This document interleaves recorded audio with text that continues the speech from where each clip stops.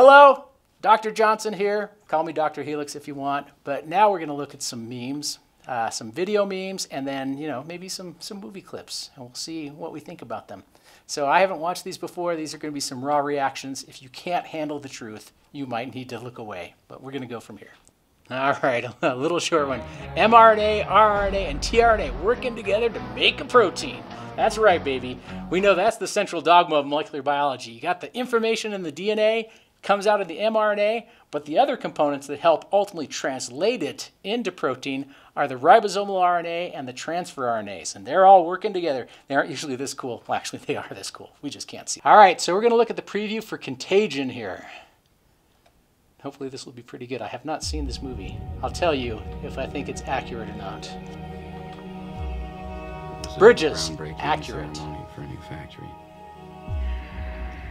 Gwyneth Paltrow, very accurate. The airport. No, she said she was jet lagged. Ooh, she looked flushed. I think she's infected The with average something. person touches their face three to five times every waking minute. In between, we're touching doorknobs, water fountains, and each other. Dad.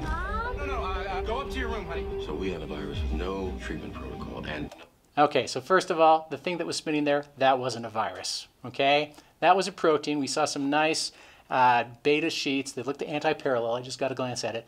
No, oh, what we have is a virus. No, you don't get the structure immediately from a virus. You know, I don't know what the time frame is here, but and that's one of the things. Oh, let's put this in this Fanoodle analyzer. Oh, boom, we know what it is immediately, but we don't know what it does. Bunch of crap. Okay, let's keep going. no vaccine at this time. No vaccine. It's a new virus they don't recognize. You had a seizure this morning, Beth. She had a history of seizures No, no, and no, no. allergies. She's not using her goop products. You know, that's her company. Okay, we'll keep going now.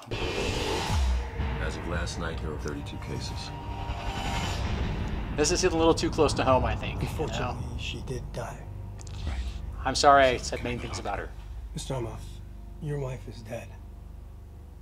What are you Wait, it would be super cool if she came back as a zombie. But that's another. That's World War Z. If you haven't seen it, I actually really liked it. Huge, huge biology problems in that movie too. You don't become a zombie in five seconds, and you don't chop off people's hands. Well, I guess you could. What are you talking about? Yeah, I don't know. What happened to her? What happened to her? Is there any way someone could weaponize the bird flu? Is that what we're looking at? Someone doesn't have to. Yeah, exactly. This guy is exactly right. Someone doesn't have to weaponize it. This is going and killing people like that. He's right. You know, is there a way you can weaponize it? It's already weaponized. The bird flu. The birds are doing that. Birds are doing that. Watch this. It's transmission, so we just need to know which direction. On day one, there were two people, and then four, and then 16. In three months. This is brilliant. That is how exponential growth works. Two, four, eight. Okay, we're going. It's a billion. That's where we're headed. They're calling out the National Guard. They're moving the president underground. People will panic. Get away! People tip over. The truth is being So, depending upon the incubation period and if you're infectious, as we all know now, and in fact, everyone knows this, right?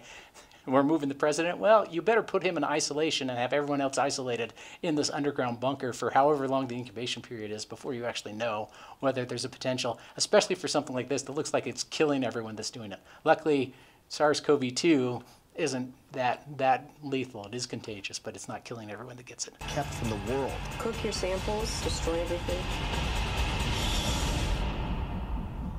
this September. I'm gonna use my voice. This September in theaters.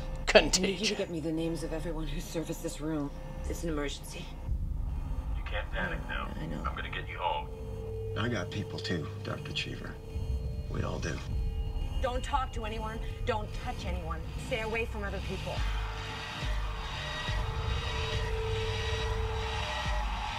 That is an all-star cast. Back in your car. We're not sick. Is anyone immune to fear? It's figuring us I have a huge commentary on that. I'm not going to do it right now. But yeah, fear plays a major factor into into epidemics or even things that don't turn out to be epidemics. But yeah, this looks pretty cool. Uh, besides showing a protein that they wouldn't have had instantaneously, we'll we'll go with it. This could, yeah, this is within the realm of possibility. So Contagion, haven't seen it, but the trailer, thumbs up. We can ignore some of the stuff that isn't accurate. In fact, that's what we have to do for all movies, right? Okay.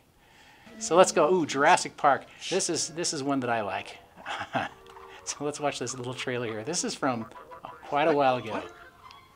Oh, it's the DNA. Oh, it's Mr. Hammond explaining things to us. Just one drop of your blood contains billions of strands of DNA, the building blocks of life. A DNA strand, like me, is a blueprint for building a living thing. And sometimes animals that went extinct millions of years ago, like dinosaurs, left their blueprints behind for us to find. We just had to know where to look. Yeah, so up to this point, right? It's all good, right? Drop of blood, not the red blood cells, no DNA in those guys, but the white blood cells, yeah. You have multiple copies, you know, and, and I would have to do the calculations myself, but you could have millions and potentially, probably not billions, I always guess, but tons and tons and tons of copies of the DNA. So yeah, and if dinosaurs are like birds, and that's one of the premises of this movie, birds do have nucleated uh, erythrocytes or red blood cells. So then all of these cells would have it. And I don't know if dinosaurs do or not, but we'll, we'll go with that. So now they're going to show us how they actually get it, even though the dinosaurs have been extinct for tens of millions of years. A hundred million years ago, there were mosquitoes, just like today. A lot bigger. Just like today, they fed on the blood of animals, even dinosaurs.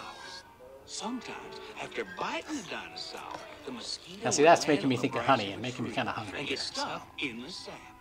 After a long time, the tree sap would get hard and become fossilized, just like a dinosaur bone, preserving the mosquito inside.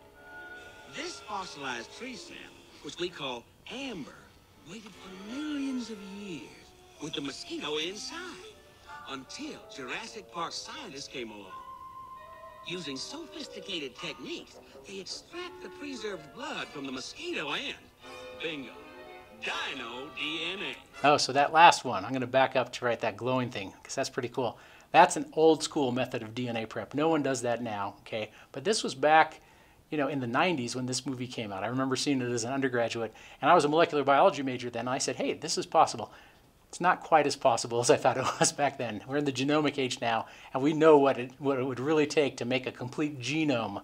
Uh, and they're going to explain how they get fragments of DNA, but then they fill in the rest with, uh, with amphibian, amphibian DNA. That almost certainly wouldn't work. And putting it in, putting in a whole genome's copy of DNA uh, into a, a, a, an unfertilized or an anucleated amphibian cell or reptile cell, that probably wouldn't work either. But they're cool ideas, and we potentially could get there. So let's keep going here. Dino DNA. A full DNA strand contains 3 billion genetic codes. If we Three look at billion screens base like pairs. these once a second for 8 hours a day, it'd take 2 years to look at the entire DNA strand. It's that long. Since it's so old, it's full of holes. Now that's where our geneticists take over. Thinking machines, This is the part that gene is a little fishy. down the strand in minutes.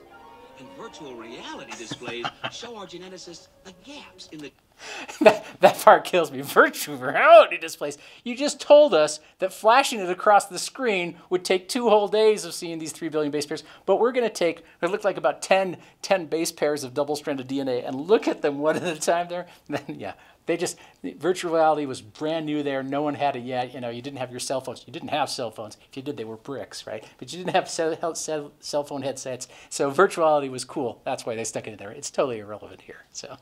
The gaps in the DNA sequence. We use the complete Here's DNA our frog.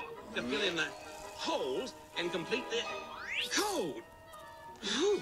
And now, So one of the things is looking between even different types of frogs, you have total huge rearrangements of the genes, okay, different species. And so to fill in the holes, first of all, you don't know what goes together, okay? You don't have something that's actually lining it all up to know where the holes are or how much you need to stick in there. And yeah, this is the part that's totally not within the realm of possibility, even even today, you know, 20, 25 years later after this film. Uh, so there'd be have to be a lot of a lot of innovation and new things developed to be able to, to, to do this part. Up to the point of extracting DNA, I'm not sure whether it's preserved in amber or not in mosquitoes. It could be, and you could definitely do, extract the DNA and you could sequence the DNA and even put big sequences together. But to put it together in the whole genome, that's not going to happen. All right, well that is going to wrap up our uh, our video reviews today. Our little clips of these movies.